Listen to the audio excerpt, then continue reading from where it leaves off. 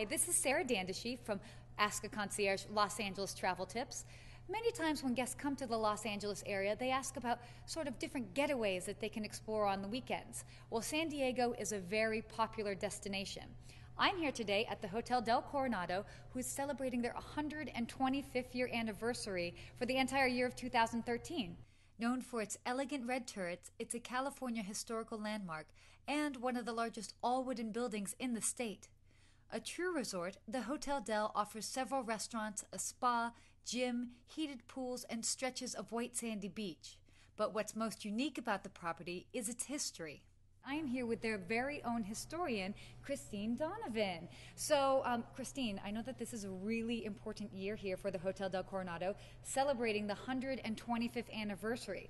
So, to kind of go about the whole history of the place, what sort of made the Hotel del Coronado so unique when it opened its doors in 19, or, gosh, 1888? We did. Open in 1888, and we were a destination resort even then, before that term was really in um, the usage of the American vocabulary, but we had everything here. We had our own electrical power plant, we had water, we had heat, we had all sorts of things that resorts back in 1888 did not have. Electricity, particularly, was very rare, and in 1888, cities back east were just starting to become what they called electrified.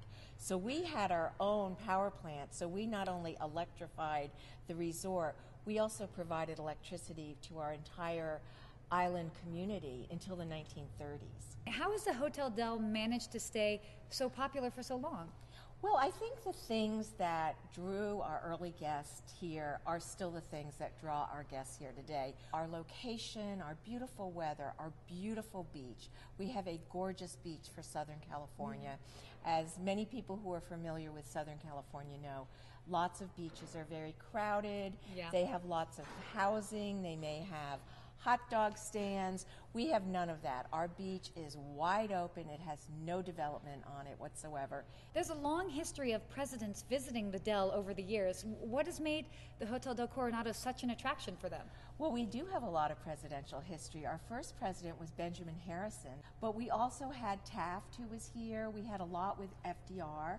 Franklin Roosevelt mm-hmm. because of World War II and what was going on. We've had every president since Lyndon Johnson, although our current president, um, Barack Obama, has not been here. Well, we need but to get him here quickly. We do need to get him here quickly. It's been so cool to see how you have, you know, the flat screen TVs, the state of the art gym, you've got classes, the spa, and everything. And then when you walk in, you're greeted, you know, into this warm sort of lobby area, and then next thing you know, you have an elevator attendant, which is so great to see. It's so rare. Well, um, you you said it better than I could. I mean, that's exactly what we're aiming for. We want to preserve the best of the past, but we want to provide the state of the art vacation experience that we've been doing for 125 years. Thank you so much, Christine Donovan, the hotel historian for the Hotel del Coronado. This has been wonderful and so informative. So thank you so much. Thank and you. I can't wait to come back and visit again. In honor of their 125th year anniversary, the Hotel Del plans to celebrate all year by treating their guests to different gifts and experiences every month.